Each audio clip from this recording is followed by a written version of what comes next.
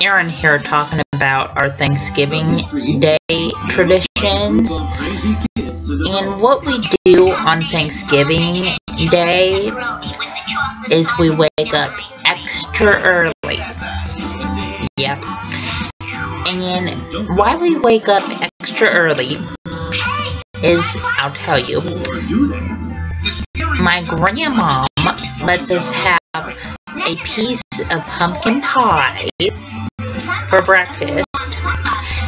And then we go and watch the Macy's Day Thanksgiving Day Parade. And then after the Macy's Day Thanksgiving Day Parade, we watch the dog show. And everybody comes over at 2 o'clock. Please subscribe.